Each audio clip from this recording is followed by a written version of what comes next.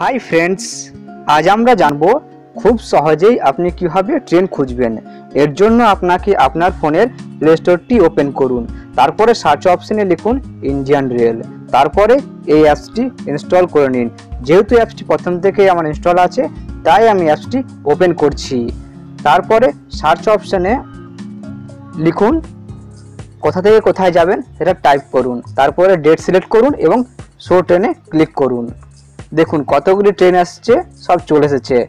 Train number train name এবং কোন কোন বারে আছে, সব চলে এসেছে এবং টাইম টেবিলও চলে এসেছে।